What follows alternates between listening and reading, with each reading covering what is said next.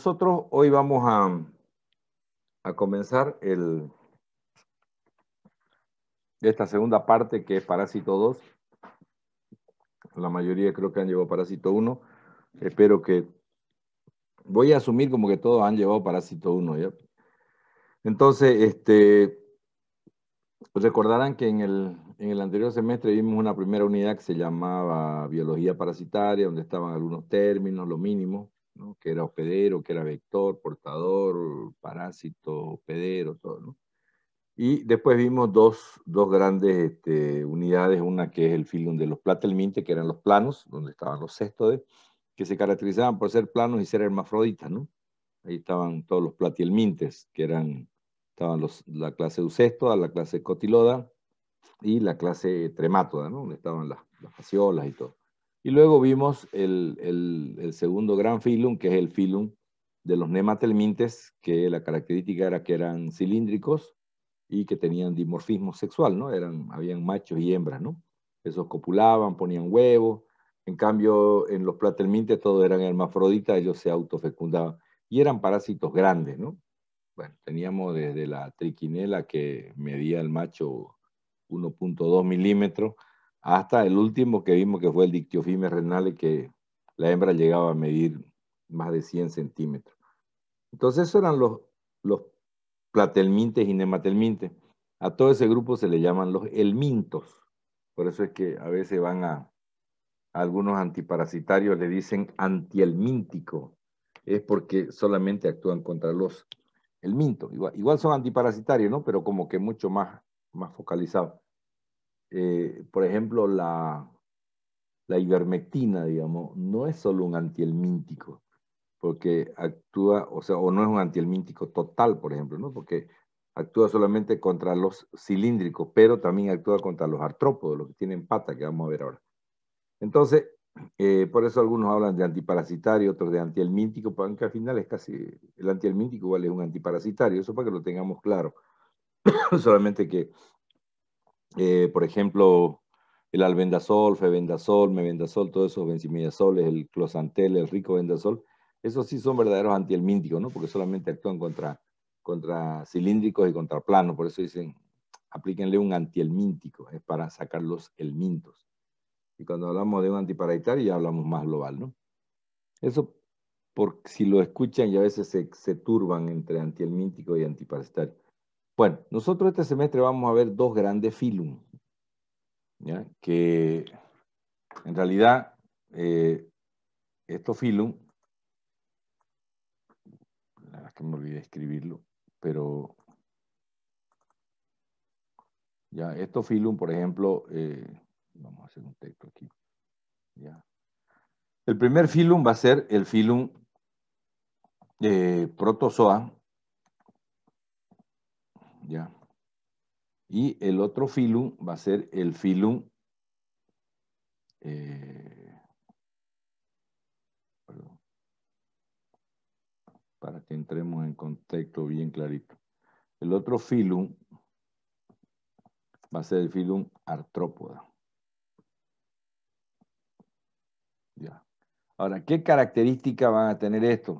Totalmente diferentes, eh, son totalmente diferentes unos de otros. Los protozoarios van a tener dos características, así como decíamos que los nematelmintes eran planos y eran hermafroditas, los protozoarios son unicelulares y por lo tanto son microscópicos. ¿Ah? Entonces, son unicelulares, son microscópicos. Se supone que si son unicelulares porque son, son chiquititos, ¿no? En cambio, los, el filum artrópoda, el filum artrópoda, eh, van a tener la característica de, de que tienen patas articuladas y tienen, y además tienen dimorfismo sexual. ¿Se acuerdan que era dimorfismo sexual, no? Que hay machos y que hay hembras. Entonces, eh, sobre esa base vamos a hablar este semestre. Cuando hablamos de los protozoarios, estamos hablando de algo que es unicelular. Unicelular y estamos indicando que es una sola célula.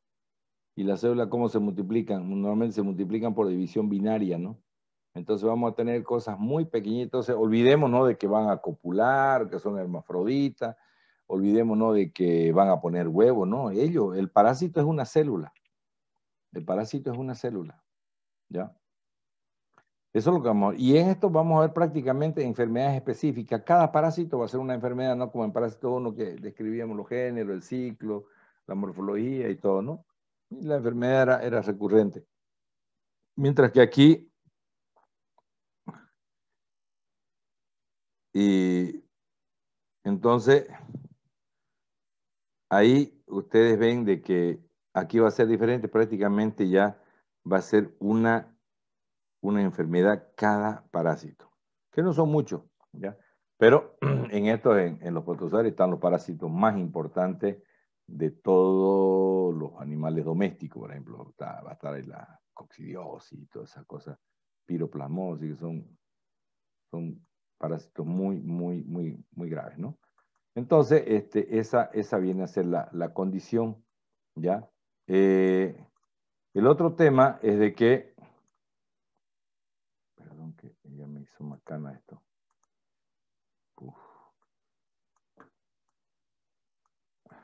ya no puedo entrar a ese Bueno, el otro, el otro tema es que en esto, en los artrópodos, viene artro. Eso vamos a ver hasta el primer y segundo parcial. Vamos a hablar exclusivamente de los de estos eh, parásitos unicelulares.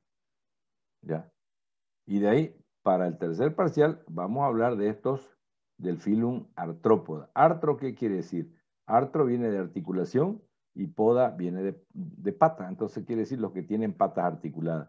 Y estos tienen dimorfismo sexual. Y ahí vamos a ver eh, dos grandes grupos, ¿no? Eh, tienen dos grandes grupos. Eh, un grupo son la clase arácnida, que son los que tienen ocho patas. Ahí van a estar los ácaros que producen sarna y van a estar las garrapatas. Adentro de los artrópodos vemos el filum artrópoda tiene la clase arácnida, ¿no? Todos los parientes de las arañas tienen ocho patas y tienen un cuerpo que es más o menos fusionado, ¿ya? Y luego están los otros que son los, son la clase insecta.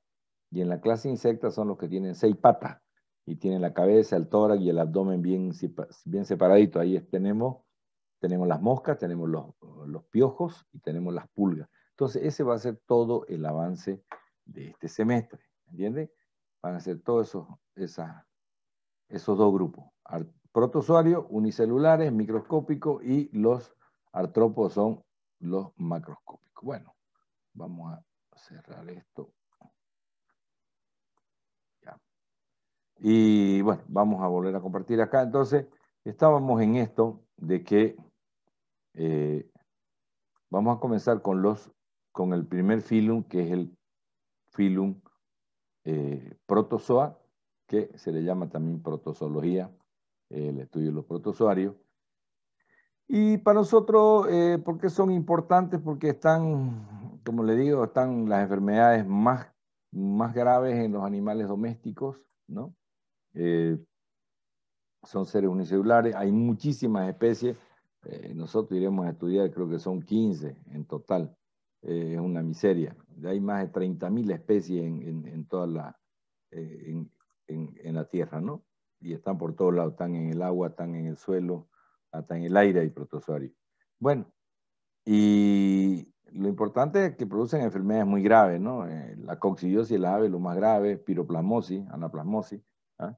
Muchos de estos, todos estos están en tejido, obviamente, y vamos a ver dos, dos, dos grupos o dos clases, digamos, de, de protozoarios. Unos que están, que son extracelulares, son un poquito más grandes que las células, pero igual están en tejido, igual son microscópicos. Y hay otros que son mucho más chiquititos, que son microscópicos. Y son intracelulares. Esos son los más graves. ¿Por qué? Porque si son intracelulares quiere decir que ya actúan casi como algunas bacterias, como algunos virus, ¿no? Que ingresan dentro de la célula y ahí se multiplican y después la rompen. Entonces, eso es lo, grave de, de estos protozoarios. ¿ya? De que hay unos, unos extracelulares que no dejan de ser patógenos, como ahí están los tripanosomas, por ejemplo, que son realmente fatales, ¿no? Eh, pero hay otros que son intra, que son más, más fregados todavía, como el caso de la coccidiosis, en el caso de la piroplasmosis, pues parásito entra dentro del glóbulo rojo y ahí se multiplica. ¿ah? Y, eso es lo más grave porque producen, producen una, una gran necrosis, ¿no? porque entran a las células, se multiplican y una vez que ya son dos y son cuatro y a veces ya no entran cuatro, entonces las células se rompen, ¿no? Y salen y vuelven a invadir otras células. Lo mismo pasa con las coxidias que destruyen el epitelio. Bueno, entonces vamos a ver esos dos grupos. Los muy chiquititos, que son intracelulares, y los otros más grandecitos, que son extracelulares. Bueno, el filum de los protozoas se divide en cuatro grandes clases. ¿Ya? La primera es la clase sarcodina, que son las amebas que vamos a comenzar a, a ver, no sé, creo que mañana o si hoy día nos alcanza. Las amebas que, bueno, son muy conocidas en todo el mundo. En realidad es un solo género. Esta clase solamente tiene un género que nos interese. ¿Ya?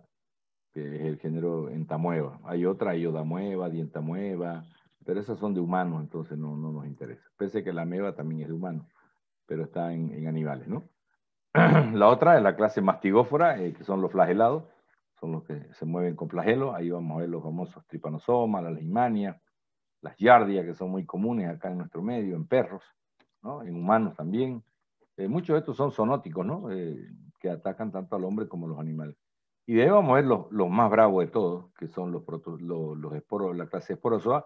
Estos son los que les decía que son totalmente intracelulares, aunque aquí también hay unos, ¿no? Como la limania que son intracelulares, que es muy grave también. Bueno, y estos se caracterizan porque no se mueven. Y finalmente vamos a ver un solo parásito de la clase ciliata, que es el balantidio. Entonces, del primer, eh, de la primera clase vemos sarcodina con un parásito, mastigófora y esporozoa tienen varios, y finalmente la clase ciliata tiene uno. Entonces, nuestro primer parcial va a ser de la clase 1 y 2, el segundo parcial va a ser de la 3 y 4, y el final va a ser, el tercero va a ser de los artrópodos. Así lo vamos a dividir el semestre y así es como siempre lo hemos hecho. Bueno, como nosotros, así como en la, en, la clase, por ejemplo, en el filum de los nematelmintes o de los platelmintes, ¿no? Decíamos, eh, ¿cuál es la diferencia entre un cesto y un tremato? ¿no? Tenían sus características, que uno era plano, era segmentado, el otro también era plano, pero no era segmentado. Acá Acá, para caracterizarlo a, los protozoarios, eh, normalmente tomamos tres características. La primera es cómo se mueven, la segunda cómo se alimentan y la tercera cómo se reproducen. Entonces, eh, por ejemplo, la clase sarcodina se mueve por pseudópodos, que son proyecciones citoplasmáticas. La clase mastigófora por flagelado, por flagelo, que son unos, unos, unos filamentitos, digamos, ¿no? ¿Mm? Hay algunos que tienen uno y el que tiene más tiene ocho. Los esporozoarios se caracterizan porque no se mueven. Lo más importante es cómo se mueve la, principal diferencia. ¿no? Y la clase de ciliatas eh, son ciliados. Tienen cilios alrededor de todo el cuerpo. Que no es lo mismo ciliado que flagelado. Flagelado es, puede ser como este mouse, digamos, que tiene un solo filamento largo.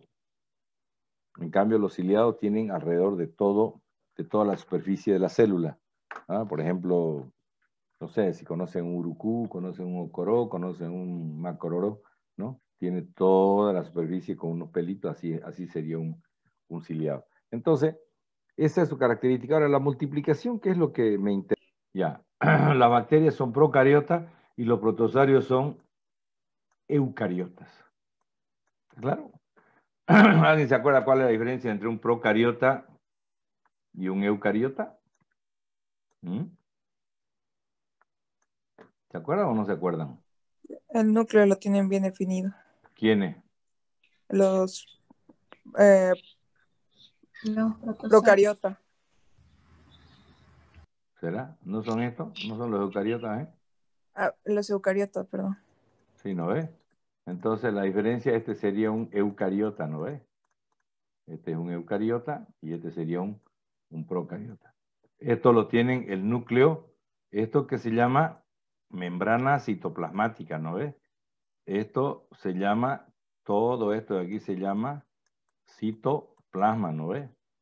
La parte del citoplasma tiene dos, dos partes, una se llama ectoplasma y la de más adentro se llama endoplasma. No sé si se acuerdan, llevo histología ustedes. Este se llama núcleo, ¿no? ¿Mm? Y este puntito que lleva el núcleo adentro se llama, ¿se llama el otro cosito que adentro? Su guaguita del núcleo. ¿Mm? Núcleo. Nucleolo. Se llama nucleolo, ¿no es cierto? Bueno, esa es la estructura básica, ¿no? Tienen membrana citoplasmática, tienen un citoplasma que está partido en dos, que se llama ectoplasma, lo demás afuera. Hay una línea imaginaria que divide en algunos, se nota más que otros. Más adentro está el endoplasma, de ahí viene el núcleo y de ahí viene el nucleolo. Y este, el procariota, como son las bacterias, ¿qué pasa con el núcleo? Está todo difuso dentro del citoplasma, no hay una diferenciación entre el, el núcleo y el citoplasma. ¿Así era? ¿Mm? A ver, niño. ¿Mm? ¿O cómo la No están, no están delimitados por una membrana nuclear. Ya. Mire, la- el ejemplo más facilito es un huevo. Ya, ustedes cuando hacen un huevo frito, ¿cómo queda? El citoplasma en la parte blanca y el núcleo en la parte amarilla, ¿no? ¿Está claro? Sí. ¿Mm? Esa es una, sería una célula eucariota, ¿no? Que tiene la membrana citoplasmática, que tiene su, su citoplasma y tiene su núcleo. Un huevo frito ahí. ¿Qué pasa si el huevo ustedes antes de fritarlo lo baten? Se hace una tortilla, ¿no? ¿Ah? Se va a cocer una cosa media amarillenta porque está mezclado el, el núcleo con el citoplasma. Esa sería una célula procariota, ¿no? Y una eucariota sería un huevo bien frito sin batirlo. ¿Me han entendido o no me han entendido? Sí, doctor. Sí, profe. Sí, sí, doctor. está bien. Ahora, ¿cómo se multiplican estos? ¿Se acuerdan cómo se multiplican?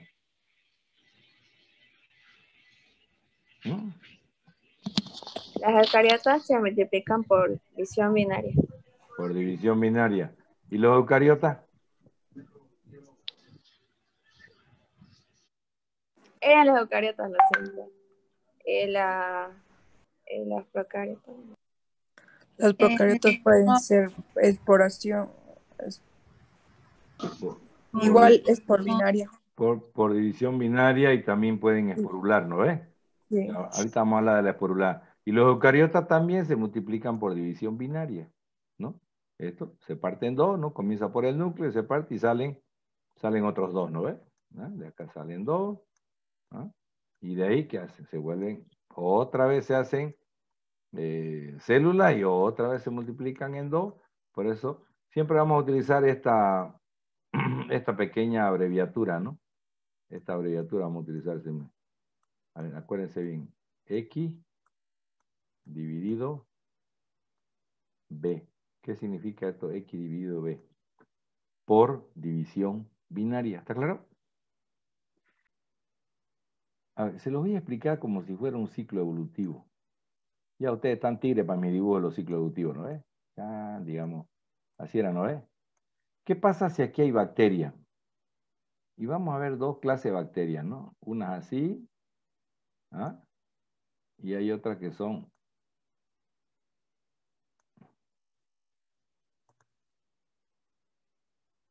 ¿Qué diferencia hay entre la de arriba y la de abajo?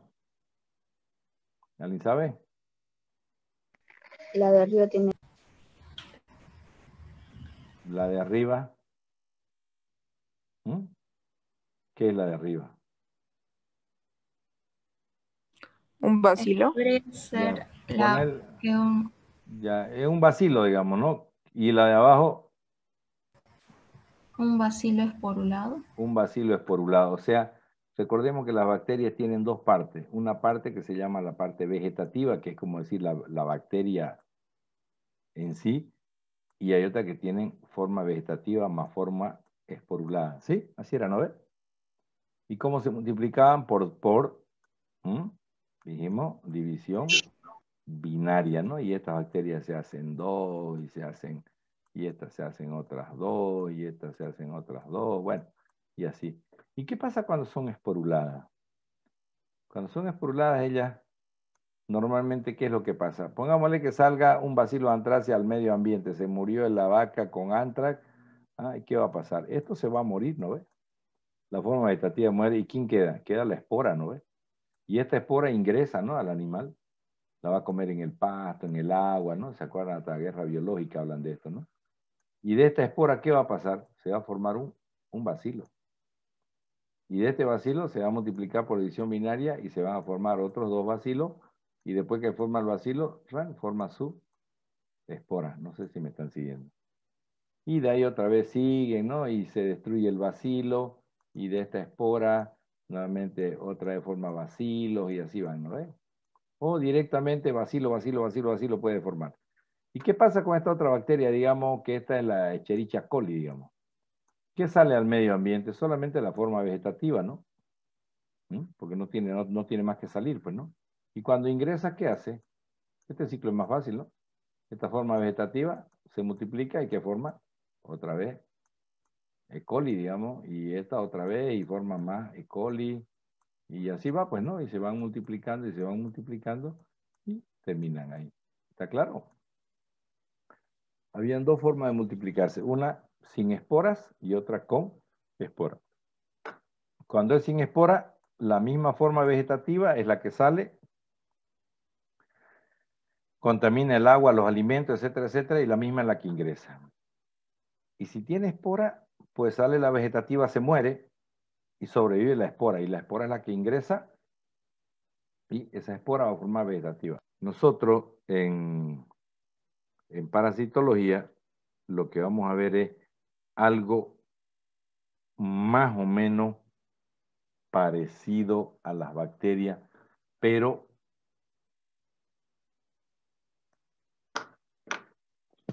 los protozoarios siempre van a tener dos estructuras. Una se va a llamar así, trofozoito.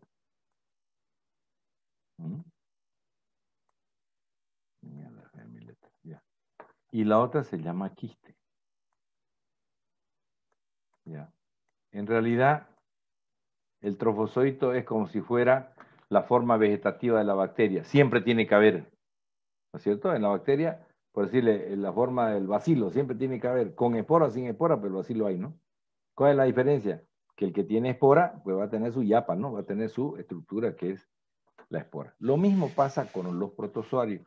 Todos, como decir, el, no puedo decir el parásito adulto porque es una célula, pero si quieren llamarle el parásito en su forma normal o en su forma verdadera, si quieren, ¿no? Se llama trofozoito. En vez de decirle parásito adulto, decirle forma vegetativa, ¿no? Se llama trofozoito. Y algunos tienen además un quiste. Como que habían bacterias que tenían la forma vegetativa más su espora. Esto es trofozoito más quiste, pero no todos tienen quiste. ¿Me están siguiendo? Bueno, ¿qué va a pasar con esto? A ver. Ya dijimos cómo tiene que ser un trofozoito, ¿ok? Entonces este trofozoito, si yo tengo aquí un trofozoito,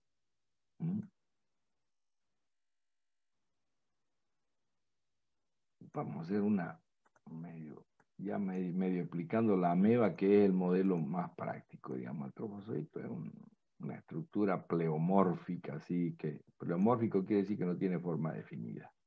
Bueno, ahí tienen un trofozoito. ¿Cómo se va a multiplicar el trofozoito? Dijimos que se multiplican por división binaria. ¿Está? Y entonces quiere decir que de aquí van a salir dos trofozoitos juveniles, ¿está? Dos trofozoitos juveniles que después se van a hacer, le vamos a llamar los TJ ya, dos trofozoitos juveniles, y después ¿qué va a pasar con estos trofozoitos juveniles? Inmediatamente aumentan de tamaño y se vuelven el trofozoito que le vamos a llamar el TM, ¿ya? El trofozoito maduro. ¿Ok? ¿Y este qué va a hacer? Otra vez se va a multiplicar y se va a volver ¿ah? Por división binaria y otra vez forma dos juveniles y otra vez, ¿no ves? Y estos juveniles se hacen otra vez los adultos, los, los maduros, etc. Y así siguen multiplicándose por división binaria. ¿Estamos bien hasta ahí? Entonces, hay protozoarios que no tienen quiste, así como hay bacterias. Pongamos el ejemplo, la, la E. coli, ¿no? que no tenía espora. Aquí hay trofozoitos, hay protozoarios que solo tienen trofozoitos, entonces el trofozoito se divide en dos, se hace juvenil, se vuelve maduro, vuelve a dividirse, tararán, tararán. Pero a diferencia de las bacterias, es que a veces este trofozoito, ya, digamos, en vez de volverse un trofozoito maduro, cuando al momento de partirse, ¿ah? que se va a partir este en dos, ¿no ves? ¿Ya? Generalmente esos dos, asumamos que, que esto igual son dos, y estos son estos dos, ¿no? Al momento de partirse, queda un trofozoito juvenil, agarra, él decide cambiar de forma.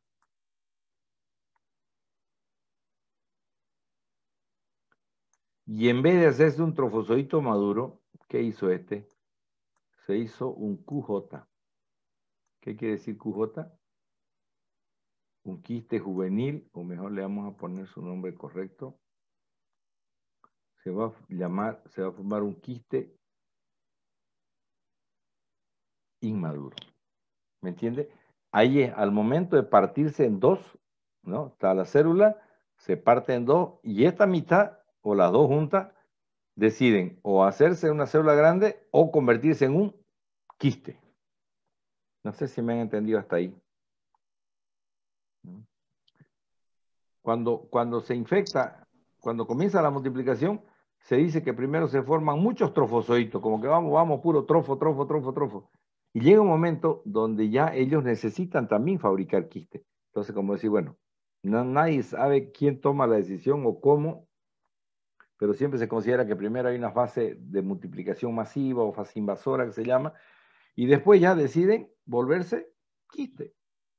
Y hacen quiste y también hacen trofozoito. Entonces, al momento que este, al momento de partirse, decidió volverse quiste, ahí lo tenemos aquí, quiste maduro, y tiene un núcleo. Para que se vuelva un quiste maduro, ¿Qué es lo que va a pasar en la ameba, que es el primero que vamos a ver. Lo que sucede de aquí en adelante es que solo hay una división del núcleo. Entonces, este, ¿qué va a pasar con ese núcleo? Se va a partir en dos. ¿Mm? Y de ahí, depende del parásito, puede ser que se siga partiendo más. Por ejemplo, la yardia tiene dos núcleos y se parte una vez y tiene cuatro. En el caso de la ameba, ¿qué va a pasar? Este núcleo se vuelve a partir y aquí vamos a tenerla, esta ameba, con cuatro núcleos. Y en el caso de la ameba histolítica, siempre el núcleo, ¿no? Con su núcleo ahí, ¿no? Y este que se va a llamar, ya no se va a llamar QI, ¿no? Se va a llamar QM. Quiste maduro, quiste inmaduro y quiste maduro. En el caso de la entamoeba histolítica, en la coli, por ejemplo, la característica es que el quiste tiene ocho núcleos. Ah, entonces sencillo, en la, en la coli va a ser una, una división más y ya va a tener ocho núcleos.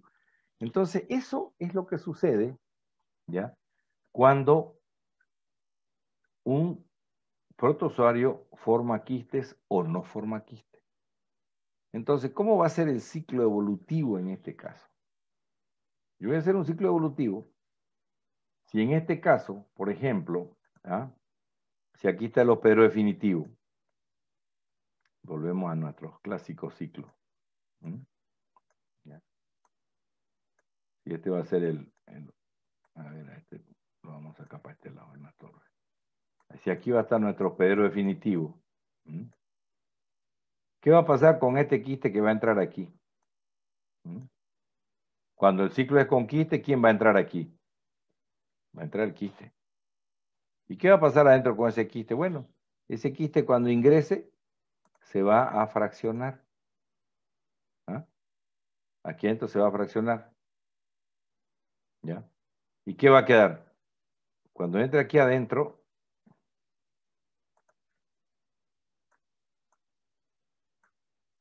cuando entre aquí adentro, este quiste, lo primero que va a hacer va a ser fraccionarse.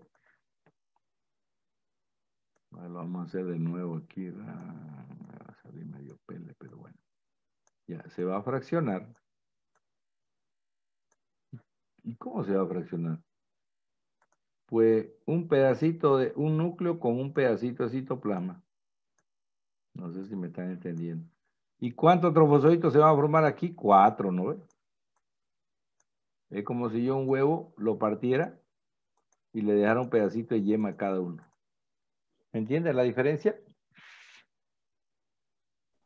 Sí, doctor.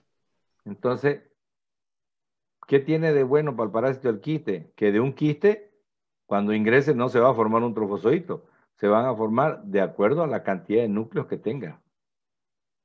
Espero que me entiendan. Eso es cuando el ciclo es con quiste. ¿Y si el ciclo es sin quiste?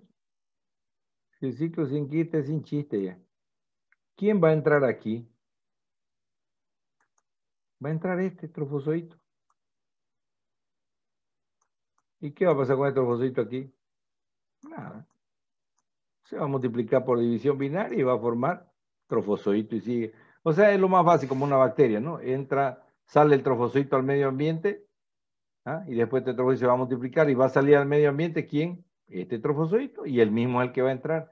En cambio, no, cuando el, el ciclo de conquiste, ¿qué va a tener? ¿Qué va a salir al medio ambiente? Van a salir trofozoitos y van a salir quistes.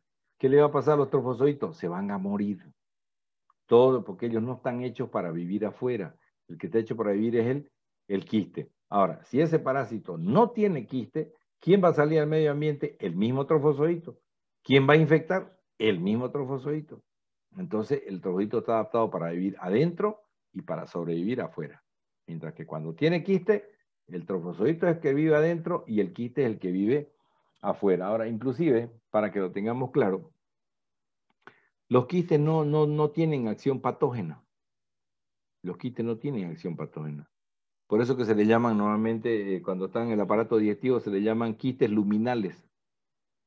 ¿Y por qué luminales? Porque ellos solo están en el lumen. Solo están en el lumen. Ellos se forman para salir afuera con la materia fecal. Ah, de que con ellos salgan unos cuantos trofozoitos que los pillaron por ahí este, libres en el lumen, claro, van a ser arrastrados con la materia fecal también. Muchos salen. Pero van a salir quistes y trofozoitos. Sí, está bien. ¿Qué va a pasar con los trofocitos afuera? Se van a morir. Para eso están los quistes, para sobrevivir. Entonces, así funciona eso. Ya, los quistes salen y sobreviven. Los trofozoitos, si salen junto con su quiste, se van a morir. Ah, pero si el parásito no tiene quite, entonces el trofozoito tiene que aprender a vivir adentro y tiene que aprender a vivir fuera. Ese es el concepto básico de todos los ciclos. Ahora, hay muchos protozoarios que no forman quiste, esa es la otra opción, que no forman quiste, pero tienen diferentes formas, son la tuti como que son transformers, ¿no? Que el, el trofozoito tiene varias formas. Por ejemplo, le voy a poner el caso de los tripanosomas, digamos. Hay una forma que es así, tiene un, un flagelingo. Hay otro que tiene ya, parece una dinamita, tiene un flagelo más largo. Hay otro que ya es más grandecito, ya tiene un flagelito medio. Bueno, siempre, siempre les hago el puntito porque son trofozoitos, ¿no? Siempre tienen Ah, este ya tiene un flagelito medio más grandecito. Y hay otro que el verdadero tripanosoma que le llamamos, que ya es el grandango, ¿no? Y ese va con su flagelo y todo. Todos son trofozoitos, solamente que tienen diferentes formas. Este se llama mastigote, promastigote, epimastigote, tripomastigote. ¿Todos se multiplican por división binaria? Sí. No es que este muda a este, este a este, este a este, no. Este al dividirse puede dar o este, o este, o este. Depende de dónde está. O este al dividirse puede dar otro de lo mismo, o al dividirse, si cambió de lugar, al partirse esto, puede formar este o este o este. O sea, cambian de forma de acuerdo a cómo cambian de ubicación. Y como yo le llamo, son como unos transformers. ¿En qué momento es que cambian de forma? Al momento de partirse en dos. No es que este tripomastigote va a agarrar y dice, no, yo me voy a volver a mastigote y me voy a encoger y me voy a formar. No, no, no. Es al momento de partirse que cambian de forma. Pero todos son trofozoitos.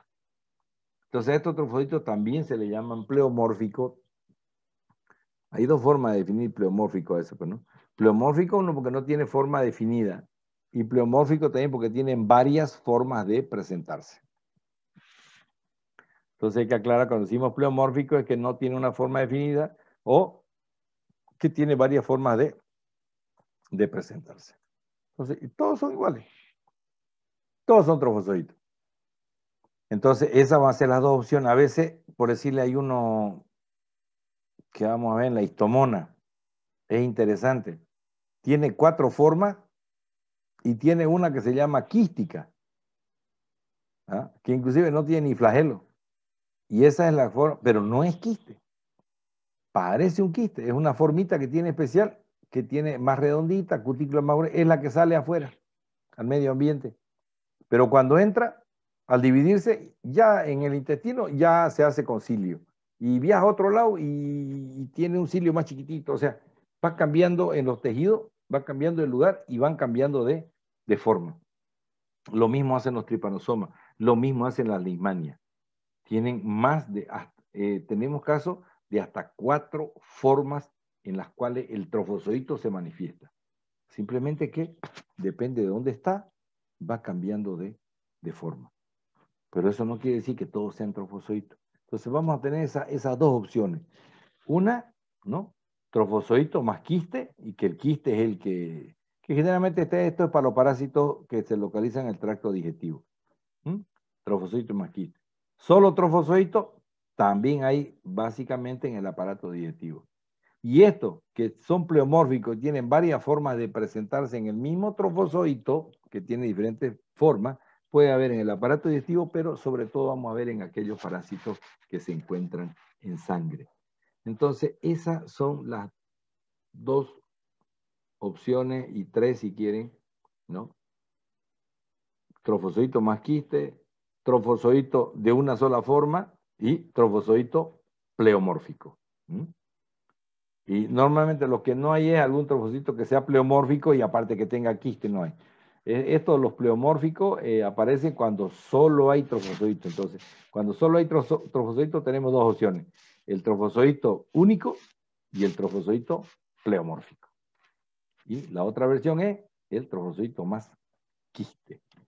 No sé si me han entendido, es medio chipado esto, pero creo que en una. Doctor, yo tengo una duda.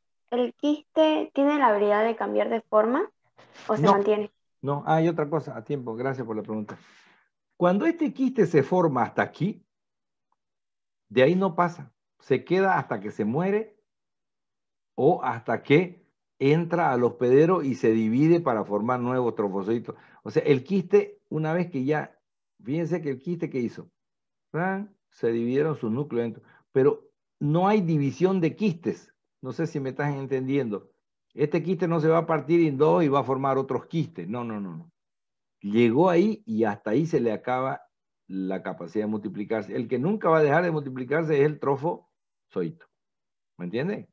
Entonces, una vez que se forma quiste, ahí se queda. Por eso quiste está enquistado, no cambia de forma, no se mueve, hasta que o se muere en el medio ambiente o ingresa al hospedero y hace ya lo que tenga que hacer, debe dividirse y formar trofozoito. No sé si esa partecita me ha entendido ahora. Los quistes no se, no se multiplican. El quiste se forma a partir de un trofozoito y ahí se quedó como quiste hasta que se muere. Doctor, este, pero ingresado al, hospedero, dentro es lo que recién muere, ¿no ve? O ya estando fuera.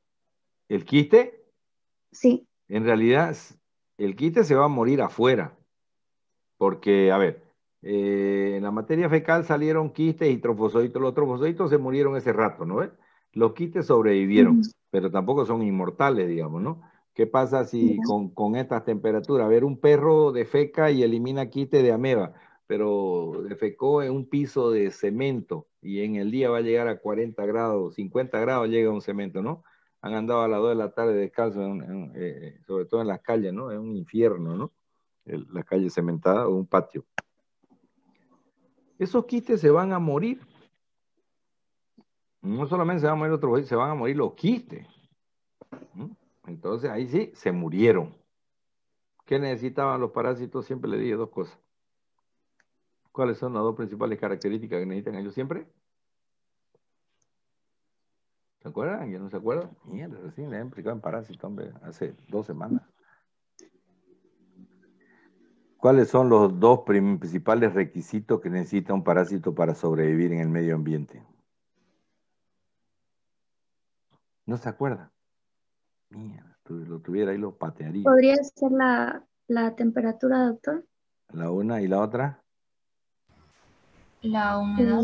La humedad. Acuérdense que los parásitos dependen para sobrevivir de dos factores, la humedad y la temperatura. Tiene que haber buena humedad y no tienen que haber ni tan baja ni tan altas temperaturas.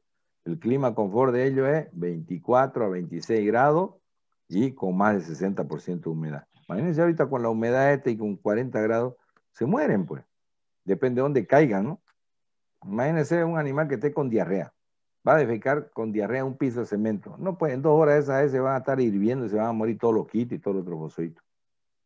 No es, no es que todo sobrevive. Ah, pero si el perro defeca en el, en el patio donde hay tierra y, y en el jardín y, lo regamos el jardín y hay humedad y todo eso, ahí sobreviven, ¿no? Protozoarios, huevo de, de ancilostoma, de toxócara, de tróngilo, lo que le dé la gana, no se mueren. ¿Entienden? Entonces, este trofozoito, en el medio ambiente, con condiciones eh, ambientales adversas, obviamente que se va a morir. Ahora, ¿cuándo es que pasa esto de partirse y, lo fraccionamos el huevito frito en cuatro, no?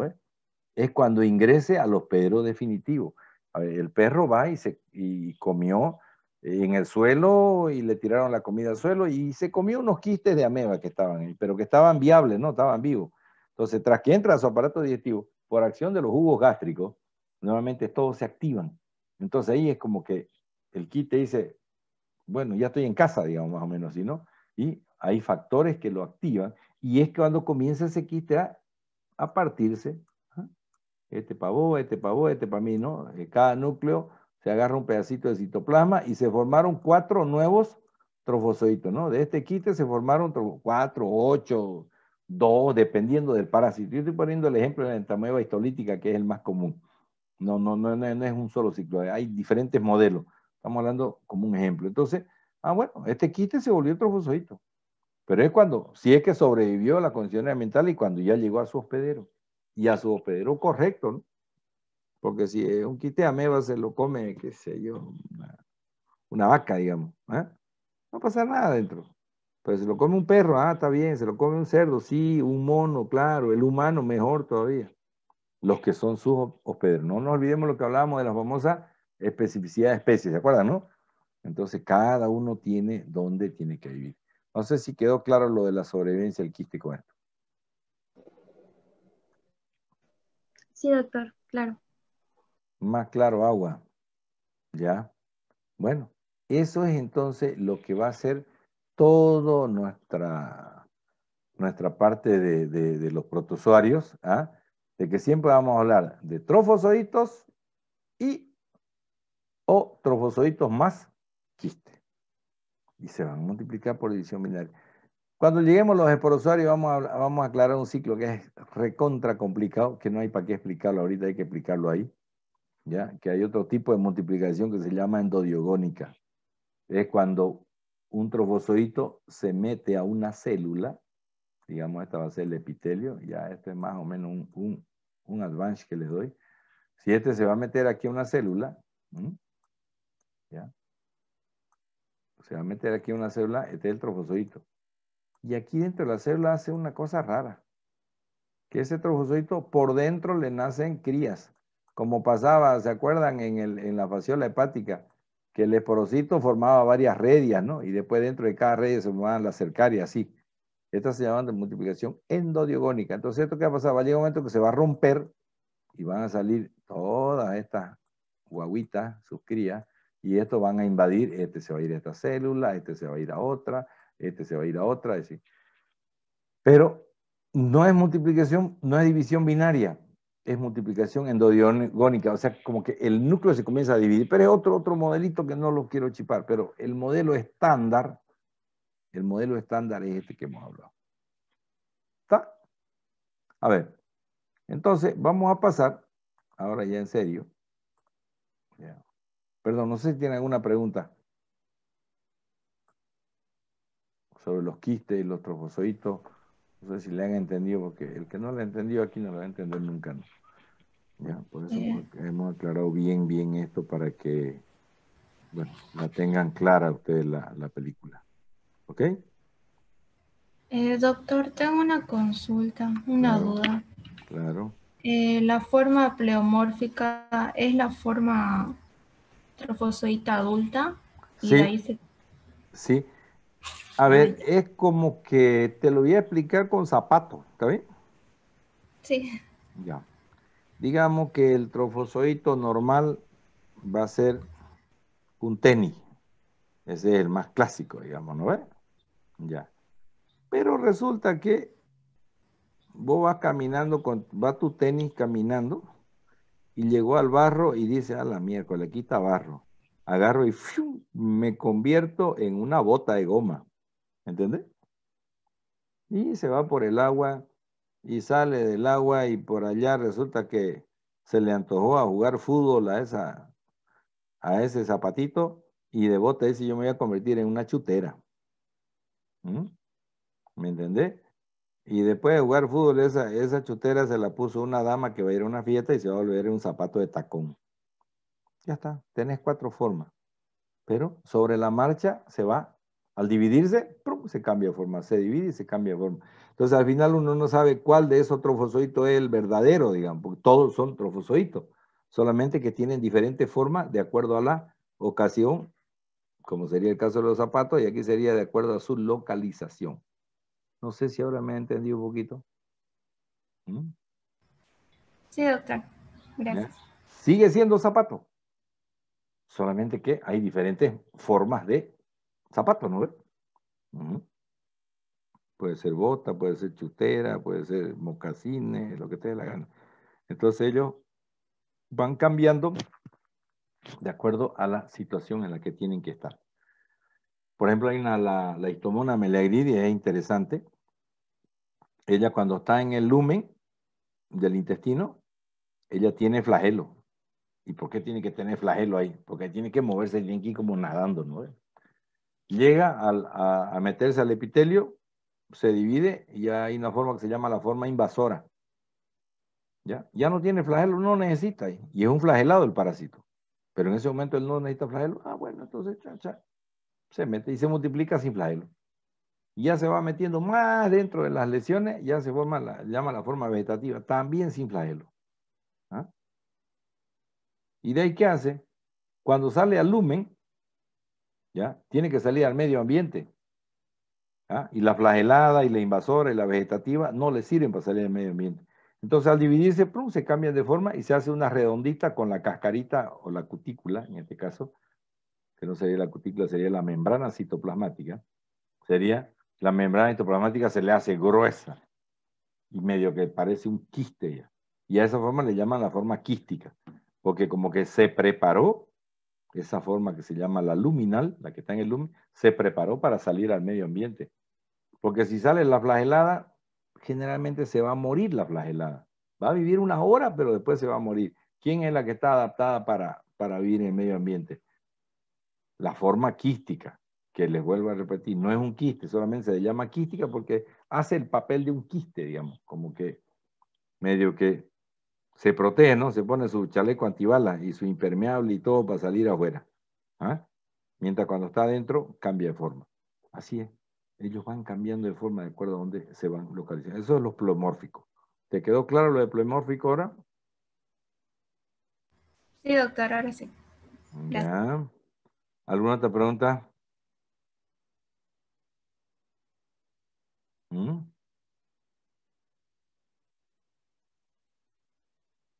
¿Mm?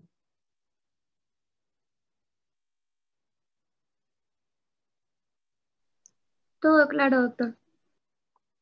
Más claro, agua. Ya.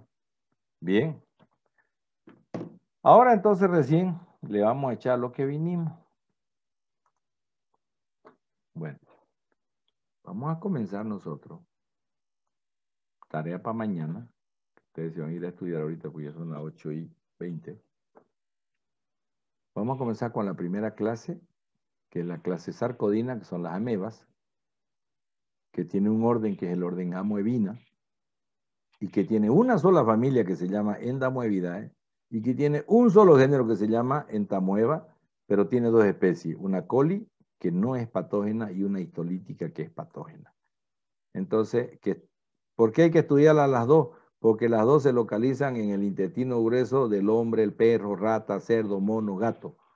Entonces, cuando yo hago un diagnóstico de un quiste, ¿qué es lo que voy a encontrar en materia fecal? En caso la entamoeba tiene trofozoito, tiene quiste. ¿Qué tengo que buscar en la, materia fecal de un diagnóstico? Quiste, ¿no ves? Porque los trofozoitos, si tardé de repente una o dos horas en llevar la muestra, de repente se van a, se van a destruir. Cuando uno ve los trofocitos, a veces cuando la muestra está fresquita, ¿no? Por ejemplo, en el hospital siempre ven siempre ven este trofocito. ¿Por qué? Porque del consultorio la sacan la muestra y a los dos, tres minutos la están haciendo eh, el análisis ahí. Pero si es una muestra que se lleva, como cuando uno lleva de humano, ¿no? Lleva la muestra y todavía te la reciben y esperan y a veces tienen dos días. No, hasta se murieron todos los trofocitos. Cuando es así directo y muestras directas, o color, hacer frotis rápido y colorearlo, sí se ven. Pero después, entonces, nunca hay que preocuparse por buscarlo al trofozoito en el caso de la meva. Lo voy a buscar el quiste. Y ahí tengo que tener la diferencia del quiste. Ah, ¿y cuál quiste era? Es entamueva. ¿Cuál, pues? Si es coli, no pasó nada, ¿no ves? Porque no es patógena. Si es histolítica, ah, bueno, la causa de esa diarrea será, o una de las causas, será la histolítica. ¿Y qué significa histolítica? Con eso los dejo. ¿Qué significa histolítica? ¿Por qué es patógena? Está en su nombre. ¿Porque destruye la célula, doctor? Histo es tejido, ¿no ve? Tejido. Y lítico Sí, que destruye, ¿no? Está bien, destruye células, si destruye células, destruye tejido. O sea que esta más o menos es como la Terminator, digamos, ¿no? O sea, una destructora. En realidad sería destructora de tejido. Ah, y si es destructora de tejido, entonces es brava, ¿no? Y entonces por eso que esta es la, la que es patona. En cambio, la coli es como decimos media, media más tranquilona. Ella vive por ahí, por el, por el intestino, medio que se pega por la mucosa, está por el lumen y por ahí anda. eh, así como que de vaga, digamos, pero no hace nada. En cambio, la histolítica, esa se va a meter al tejido y lo va a destruir. Por eso ella es la patógena y por eso cuando uno hace el diagnóstico tiene que saber cuál de las dos es. Entonces, tarea para que vayan repasando.